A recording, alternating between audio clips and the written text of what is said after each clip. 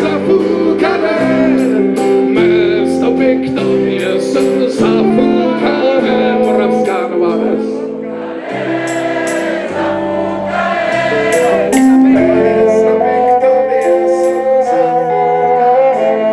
Byl první máj a v Moravské Nové Vsi byl dne lidových řemesel čas. Švadlenčin zval k nákupu hlas. I když slunce vysvětlo, také pěkně foukalo. Pojďte se chlapeci počít, jak jí ty kvítečka pěkně znají. Červený šáteček, bílý kraj, půjdeme tancovat na to hraj. Větr nevětr, hotovo. Nicméně náměstíčko v Moravské Nové Vsi bylo zaplněné nadšenci do folkloru, lidových tradic, lidových řemesel a rukodělných výrobků. Co všechno se na jedné z největších kulturních akcí dělo, na to jsme se zeptali kulturní referentky Petry Frýdkové. Vždycky se ukáží naše místní mažoretky, neonky a zuzanky a potom eh, dětské folklorní soubory, eh, naše domácí jetelinka jetelinečka, včetně obou cymbálových muzik, jetelinky a potom jsou to pozvané dětské folklorní soubory. Které dětské soubory se letos zúčastní? Tak letos to byl eh, Bíloviánek, Palavánek, Malé zálesy z Luhačovic a Skaličánek. Přijali pozvání vlastně tady ty soubory s povděkem, nebo jaké máte zkušenosti, když takhle tady zvete dětské soubory?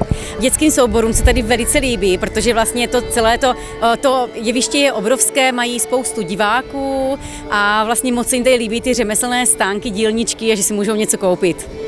Jakou novinku jste letos vymysleli? Tak novinka je, že škola folklorních tanců byla na pódiu a to nejenom proto, že není přístupný dvůr úřadu, protože budova radnice v rekonstrukci, ale i proto, že loni byla v tom dvoře úřadu velká návštěvnost.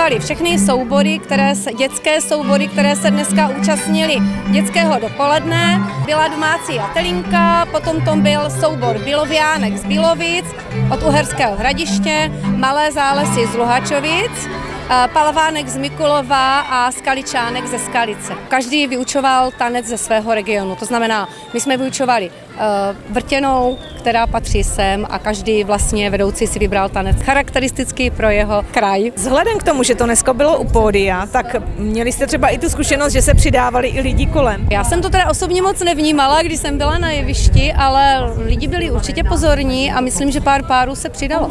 Chtěli jsme, aby vyzývali jsme lidi, aby neseděli, aby se trošku protáhli, takže se to podařilo, si myslím.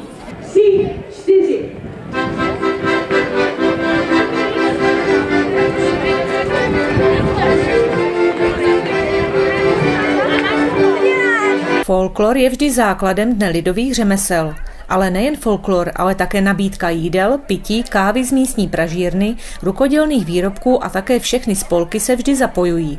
Například i hasiči měli svůj stánek. Je ještě nějaká novinka, kterou se letos připravili? Letos máme pro děti takovou zajímavost a je to vlastně ruské kolo dřevěné na ruční pohon. Dále vystoupí folklorní soubor Urpín z Bánské Bystrice a potom tahákem bude kapela Fleret se Zuzanou Šulákovou a všechno ukončí kapela Šroti, roková kapela z Dolních Bojanovic. Jak velký tým tady tu akci chystal a co byste jim chtěla zkázat?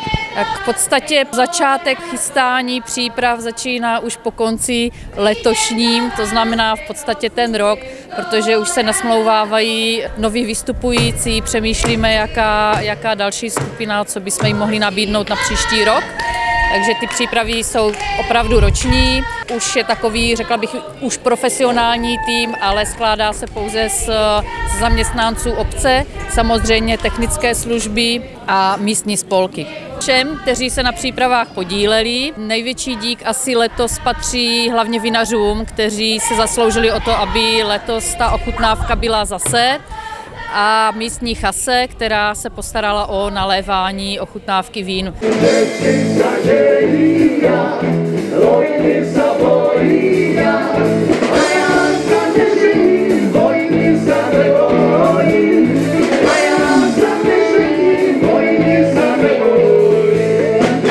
Paní starostkou Moravské Nové Vsi Zuzanou Jandákovou jsme se pak vydali do zákulisí vyspovídat členy kapely Fleret, abychom se jich zeptali, jak se jim líbí místní pohostinnost.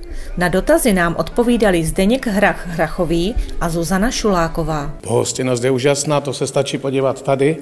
A co se mi tady líbí, že máme tady i sladkosti. Tady takové, my jsme si přesně říkali, že, že tady jsou fakt lidé pohostinní, žádní lakomci a ty koláčky a všechno to prostě nádher. A vynikající víno, to, je, to musím říct, že Ježek bodne, tak už mě bodá krásně, jako, ne, strašně se nám to líbí, chutná nám to.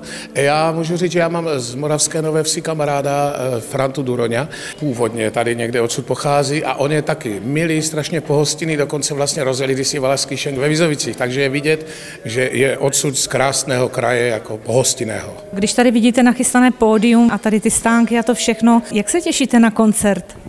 Já se těším a já jsem navíc takový, že já už jsem si to všechno proběhl, protože kdyby to byli nějací ti Číňani, ty stánky, to mě nezajímá, ale když jsem viděl, že to je ten lidový řemesel, tak jsem si už koupil takový polštářek do karavanu, na kterém se mu dobře spát a našel jsem tady paní, která vyšívá folklorní motivy, a já říkám, ale na mě asi takového vadotričko mě nebudete. A ona říká, ale jedno tady mám. A vytahla nádherné černé triko s krásnýma červenýma fakt eh, ornamentama folklorníma. A já říkám, je, teď mi se chystáme na Masters of Rock. To je přesně ono, tak jsem si ho koupil. Takže už jsem si prošel tady ty věci. Dokonce jsem byl pozván na chutnávku, tak jsem zkusil nějaká vínečka. Takže já jsem tady nadšený. Myslím si, že tady v Podluží mamka tady jezdívala často a vždycky přijela úplně nadšená z té vaší pohostinnosti, protože tady je kraj, který vlastně je bohatší jak Valašsko a nejsou lidi vůbec lakomi, že vždycky se mohli rozdať, jak mamka tady byla. A teď tady taky jsme přijeli a hned eh, jsme tady obletovaní a máme se tu dobře. A tak mě napadla taková písnička, kterou vždycky zpívám na konci. Eh, jmenuje se Ovečky zaběhnuté a moc se na to těším. Ovečky moje zlaté, slunečko zapadá, co mi to udělá? Měla jsem ho ráda. Ovečky postrácané, je prázdná, bača mě opustil, ostala jsem sama.